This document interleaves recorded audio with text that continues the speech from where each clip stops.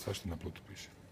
Dobro, možete i vi, ministre Jakovina, nam objasniti za te industrije i kod gospodina Jakovine prehranu konkretno koje će oni imati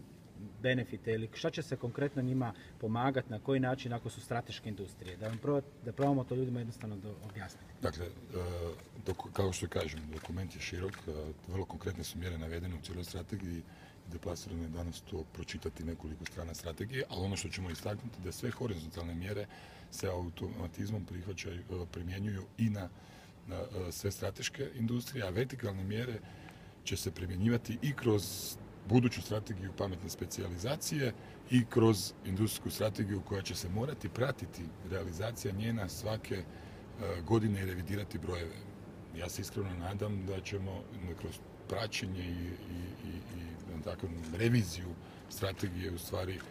isforsirati e, i njenu